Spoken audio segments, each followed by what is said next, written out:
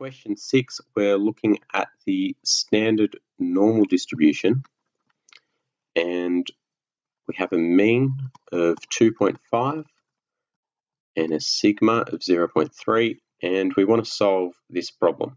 So you'll notice it's not normalized on this side, but it's normalized on this side of the equality. Well, let's draw a picture of what this looks like. It'll help us. If our mean's there, we know that being greater than 3.1, if the mean's 2.5, being greater than 3.1 will be this area here.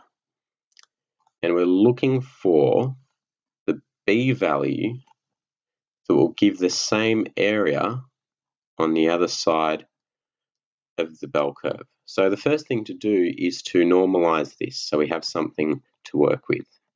So we know the formula for that you subtract off the mean and divide by the standard deviation. So let's subtract off the mean and divide by the standard deviation. That gives 0.6 on 0.3, which equals 2. Now, is that our answer? It actually isn't because this would give the standard z value for here. We want the value for here. So by an argument of symmetry, would say that b is actually equal to negative 2. So watch out for that one. You have to use symmetry there.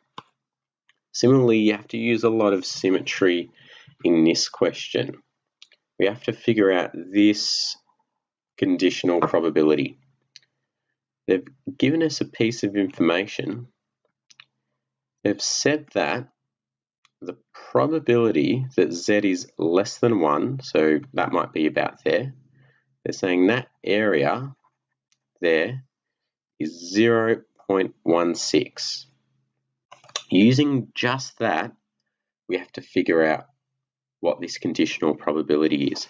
First thing you want to do is normalize your values. So we'll say Z1 is 2.8 minus 2.5 on 0.3 which gives us 1.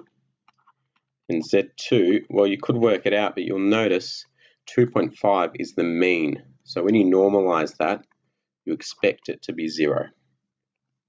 Let's rewrite this statement using Z values.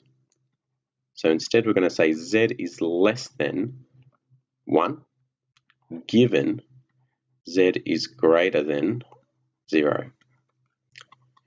Okay, we know conditional probability. We know that's the same as the intersection, the probability of the intersection of those two over the probability that z is greater than 0.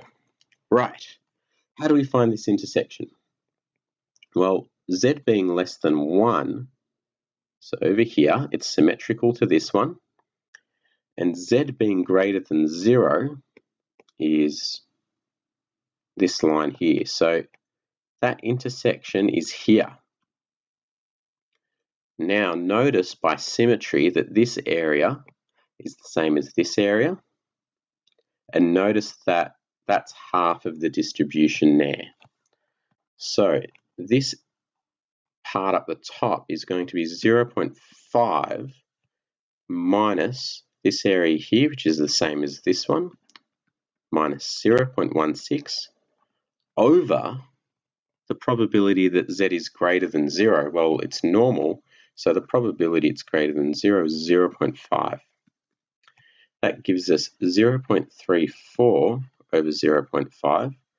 Now, what's the answer to two decimal places? So let's get this over 100, which becomes 68 on 100, which equals 0.68.